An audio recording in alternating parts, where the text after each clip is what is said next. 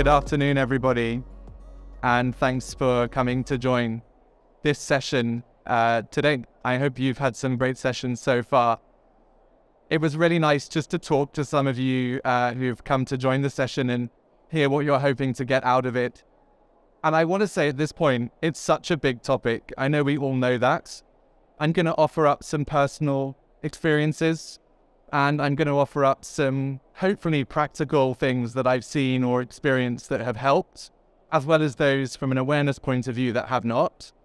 And I hope in some way that gives you all something to take away. I suspect there will be time for questions. I've got a fancy iPad here that I didn't know I was going to have from the organizers. So if you apparently send your questions over, then they'll land here and we should have time for them. And I want to warn you now, there will be uh, some participation, but I promise you it's it's as much as raising hands or lowering hands. So when I get to the point of asking you to potentially raise your hand, please don't be terrified that I'm suddenly going to to then call on you to do more. It's just from an awareness and interest point of view. But let's jump in. I'd like to start actually with a personal story. When I started my career, and I won't go into any more detail than this, I researched the company that I joined carefully. I had only recently come out as a gay man and I was still kind of going through the adjustments. I guess I probably still am of that experience. But finding a company that would be a place that I could really belong was first and foremost for me. It was really important. And I went somewhere that was award winning. They were an employer of choice for LGBTQ. They were in the Times and other papers for being the best place to work for LGBTQ plus people. I was really excited but my lived experience outside the walls of that LGBTQ plus network was different. And it ranged from listening to little microaggressions or things that potentially were said subconsciously, all the way through to kind of quite open, supposedly jokey homophobic language. In the most extreme case, I ended up repositing myself, lying about my sexuality in the workplace because I felt so uncomfortable and the more the company published their stats on diversity in the LGBTQ plus area, the more galling it was to see this difference between this public, these public stats, which I'm sure were true, but the actual experience day to day.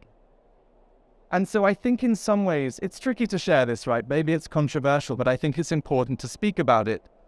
And I feel it illustrates at a very simple level, what we mean when we say the difference between diver- diversity on the one hand and then inclusion and belonging on the other hand, because that's what was lacking for me.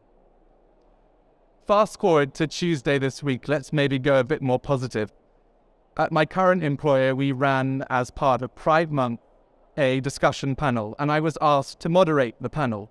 Six panelists were volunteers, representatives of the LGBTQ plus community at our company, and we had nearly 200 employees opt to attend from across the business, which was really humbling. It was a very special moment, and it made me think how much things were different or had changed in that time. But what really made a difference actually was the messages and the questions that came from allies from the community afterwards. They said they'd learned so much, which was interesting because sometimes as a member of this community, we talk about the same things and we wonder, is this resonating? Are people learning? Is it making any difference? And I was told that it had. Specifically, people felt more empowered to actually step in and make some mistakes if it meant that they could better support proactively the LGBTQ plus community as allies. That was my lived experience this week. I felt like I belonged. I felt included. And so there is a difference. We don't have any awards, by the way, for LGBTQ plus.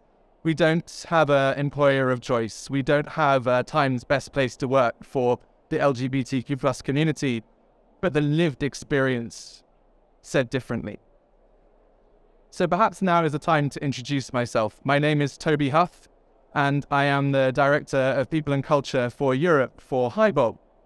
I won't go on too much about HiBob, but I can see some of my team members here, and I must, otherwise I'll be in trouble.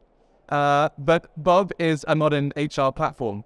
Uh, it's built for growing modern multinational businesses like yours. It was designed with the needs of HR in mind. So for leadership teams, it gives that kind of greater oversight and visibility of the business. For managers, it's access to insights and resources for how they can lead more effectively. For employees, it's the tools and information that they need to connect, to develop, and to grow. And we're going to come back to that in some of the practical components in a little bit. Our global team serves over 2,400 customers across more than 100 countries and over 100,000 employees worldwide. So I have the role of working in HR for an HR business, which is great, but also demanding because the team challenges us regularly. They are all informed, they have high expectations, they're aware of great HR practices. And that is also true of great HR practices when it comes to diversity, equity, and inclusion. I want to pause on the talk for a second, and I'd love for you just to take a moment to reflect. Can you think of a time when you felt personally excluded? It can be from any stage in your life, whether it be many years back, I hope it was, or whether it be more recent. And this is one of those moments where I would like you to raise a hand if something came to mind. I'm not going to call on you. But I'd love to know if something came to mind where you felt personally excluded at some point, raise your hand for me. Okay. I'm delighted to see some hands not up, by the way. We need more of that. Keep your hands up, please. And lower your hand if that experience was not in the workplace. So if it happened in a workplace, keep your hand up for me. Okay. Thank you. You can lower your hands. So that I was pretty confident coming into this that this would happen, right? Hands are up for both. I'm afraid too many hands were up for experiences in the workplace. We still have work to do. We all know this feeling, whether it be from many years ago or right now. Sometimes when we talk about DEIB, diversity, equity, inclusion, I think it can lose the human impact piece.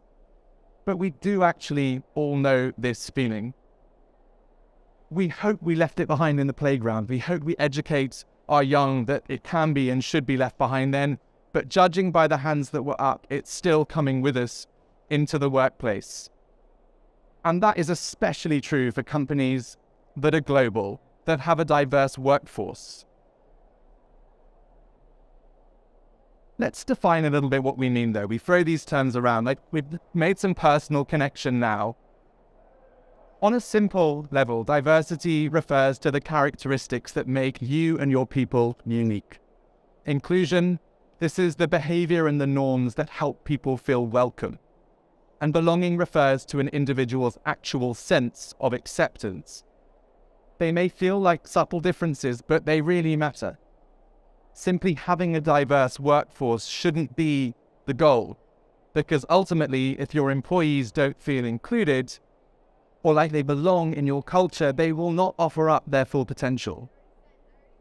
That's the, the, the, the, the least of your worries. They won't stay, and they shouldn't stay because they deserve better. They'll find a company where they do. This is what I did. I'm speaking from experience. And let's be clear this isn't a small or a simple topic, and it was really great speaking to some of you beforehand about your reasons for, for wanting to be here for this talk now. This is complex, it's messy, and it's evolving and changing all the time. I don't stand here pretending to be on authority in this, I don't know who is. And I'd love afterwards to hear some of your experiences because I think it's through this conversation that we actually learn and push forward what we're seeing here is just a small subset. I'm sure there are more. But for each of these groups, acts of exclusion, exclusion, take place frequently. Sadly, at one end of the scale, these acts can be deliberate, still. Nearly 20% of LGBTQ employees report being discriminated against. This is particularly egregious for non binary or trans individuals. But many of us, and I'm sure this includes you, many of us sat here today we hold dear actually to ourselves the values of inclusivity. We don't want to be behaving like this, but we're influenced by our subconscious very often. Many of you, unconscious bias training is becoming more and more and more frequent. Raise your hand for me if you've had some unconscious bias training or experienced some of it. Yeah. This is what we're trying to tackle with the UV training. We're trying to tackle the fact that many of us have egalitarian values where we want to welcome people in. So we want to eliminate those practices that are accidentally excluding people. And they can be so simple. Every time I'm asked about my wife or girlfriend, I have to come out again, rather than a partner. The impact of a Hindu employee where there's no celebration around Diwali at a business. A wheelchair bound employee that doesn't have the right heights water taps in the office for them. A non binary employee without a they or them option in the HR system when they join the business. Communication channels that are optimized for neurotypical employees it's actually estimated that 15 to 20% of the population is neurodivergent. About 1 in 45 people is somewhere on the autism spectrum, but I don't think that our communication channels and practices are anywhere near reflecting that yet. So, on paper, you might have a wonderfully diverse workforce, but sadly, every day, little things can happen that can create a barrier of exclusion for those individuals. You should celebrate the diverse workforce, do not get me wrong, but your work doesn't stop there. And this is where I'd love to go into more detail in today's discussion. I guess let's pretend there are some cynics in the audience. Let's pretend there are people thinking, okay, great, but actually we're functioning really well. Like, why does this act- why does it actually matter? There's a reason on there that I, I personally feel is the most important reason, which it is because it is the right thing to do. Uh, it comes back to the fact that many of us really hold these egalitarian values. We want people to be treated fairly. We want them to feel included. And this should be enough. But in case we have some cynics, let's give some other reasons. Let's go deeper into this. The first one, with talent growth and development within your business, if people truly belong, they are more likely to stay with you. They're more likely to take risks, offer up ideas, step out with that piece of innovation that they've been hiding they're more likely to grow their career with you. The great resignation will have been talked about by somebody else, and I'm not going to do it now, but anything we can do to combat that is a good thing. It also positively impacts performance. So I'd love to tell you there was a body of research that was done about how diversity and specifically surface level diversity, this is observable diversity, so things like gender, racial differences, how do they impact team performance? Well, the research that I'm referencing here showed that those diverse teams outperformed. They were smarter as a group and they were more innovative. So, what the researchers did is they got them to undertake a set of tasks where there was an objectively known best outcome, required brainstorming, solving puzzles, negotiating, detecting patterns. And they looked to see how the groups performed the fact that the diverse groups ex- uh, excelled in this versus the, the more homogenous groups led to the, a bunch of questions around it. Like, how is this actually happening? So they videoed the groups and they coded a bunch of stuff, things like the number of unique words spoken by each person, uh, the unique bits of information shared, discussing topic. How long were they discussing topics for? They found that diverse groups discuss discuss topics for longer, they found that, uh, that they took longer to get to the answer. What they saw with the homogenous groups is they tended to overemphasize the shared views and practices and information that they had in common. What we saw in the diverse groups were individuals more deeply considering other people's arguments. And because they knew that they were going to expect it, they better prepared their own points of view. They expected to encounter different views. We also saw it with mixed age groups in the study, was shown to increase productivity amongst both older and younger employees. There were different perspectives being shared, different experiences, different social networks. It was a sort of synergistic uh, combination of resources. So it seems like surface level diversity is a cue, but that's all it is, because what's happening in these groups then is a reminder that they all do come from different backgrounds, with different experiences and different perspectives, and that's changing people's behavior. I thought that was so interesting having a truly included workforce will help with customer centricity. Our customers, whether they be B2B or B2C, are diverse. And so we need to come up with solutions that work for them. There are some horror stories that you will know. I can think of three that come to mind. When the Apple Health app launched, there was nothing in there about the female period. They said it covered everything to do with health. When the icon for a CTO, a chief technology officer, made its way into the icons in, in an iPhone, it was a blonde haired male. When YouTube launched, 10% of videos appeared upside down. About 10% of the population are left handed. There were ingrained issues within the product itself. And what we're seeing is with these diverse groups, those discussions that we referenced before try and help avoid those pitfalls. And finally, from a McKinsey study, diversity when there is equity, inclusion, belonging, it helps impact profitability. Companies with ethnically diverse execs are 33% more likely to have an above average profitability than their more homogenous peers, and gender diversity is similarly related to a 20% increase in the likelihood that a company will be more profitable. So, what can we do about it? I feel like, you know, we've talked about the fact that it exists. We've seen amongst all of us today that challenges of inclusion and belonging exist still today in the workplace. I hope we all feel it's the right thing to do to combat it, but in case we needed convincing, we've seen some data points that suggest that for business performance, it's also the right thing to do. And this is where I'm going to share perspectives now. I'm convinced you will have ideas of your own. But I think it starts with awareness. In my own personal experience, I believe that's where it begins, at both a macro and a micro level. So for individual employees, when they start to hear about events through the year that they might have been completely unaware of in their world, it helps them stop and slow down and think. It can seem tokenistic in the HR world. We've got to make sure we, we, we as a company are supporting this religious event, this diversity month, International Women's Day, etc. But it's not tokenistic because every time you do it, you are positively reinforcing to those individuals from those groups that they have a place in your business. And crucially, for the allies, you're helping them better understand how to be better allies. And I refer back to some of the feedback that we got from our Pride discussion panel this week. It was from that ally group. They were saying, I now feel better equipped to have conversations about this. I have, I feel better equipped to speak to our non-binary uh, employee who I'd previously been a little bit tentative about saying the wrong thing we on the panel, by the way, we had a couple of the panelists say the wrong thing, quote unquote, use the wrong pronoun. We we, we made it. It wasn't planned, but it was beautiful, because that was one of the takeaways we wanted them to, to to realize that don't say nothing, say something, and if you get it wrong, we'll assume positive intent and we'll we'll chip away at it together. The other thing at an individual level we can do is educate on it on unconscious bias.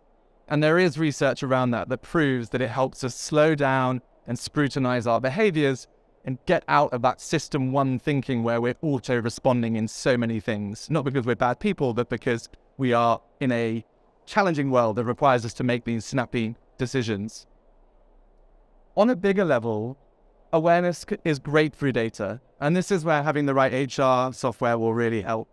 Collecting data at all levels to understand what's going on. In unconscious bias, we talk about the meritocracy paradox, saying oh, we're fine, we're a meritocracy, we make decisions based on merit, we don't have issues of, of exclusivity or a lack of belonging here, that is proven to show that they are more likely to make decisions based on, on gut feel that is influenced by unconscious bias. Whereas if you slow down your behaviors, you look at the data from what are all of the stats from this merit cycle? Who received an increase? Who received an increase last time? What were the stats from the promotion round? Who are we promoting? Are they the people that are shouting the loudest and that look like us? Or are they people that really deserve it? Are we going into the shadows with our torches and finding our whole business and bringing them with us? Also true with things like recognition and rewards. When we move away from discretionary based bonuses to bonuses that are built on data driven decisions, take the humans out of it ideally, again, we're seeing a more equitable distribution of the bonus pot across workforces.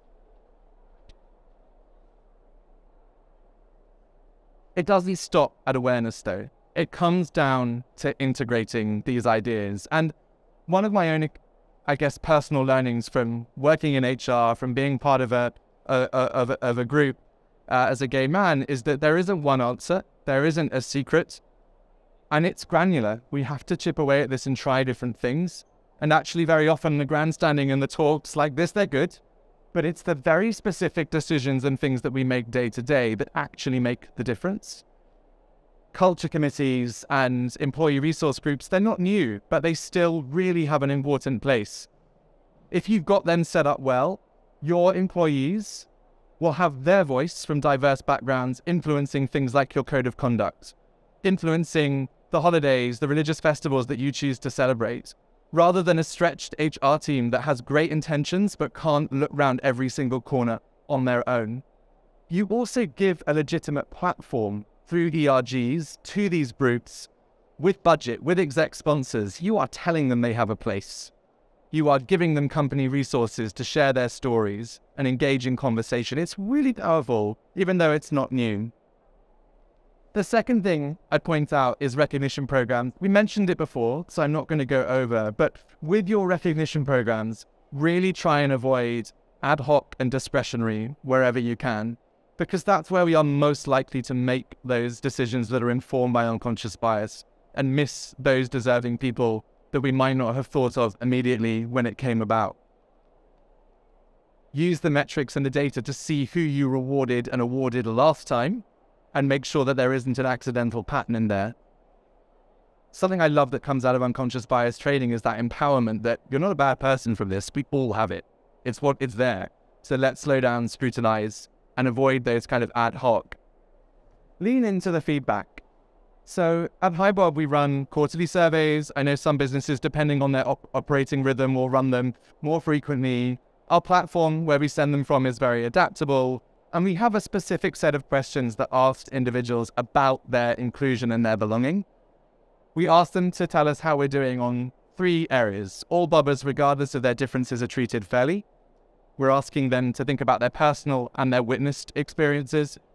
I can be my authentic self at work, and I feel like I really belong at HiBob. These are the things that we ask people in our surveys. Tech in general can be great if it's used well. It can help employees express themselves in different ways, find mutual interests around the world, not just share HR data that we need, but actually information about themselves.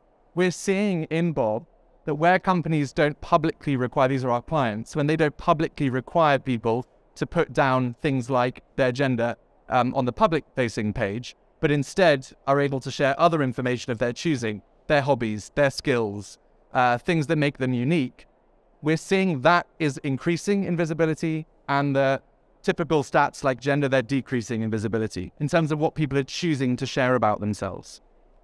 I'm going to come back to that in a minute as well, because I think there's such a small example there that's super powerful.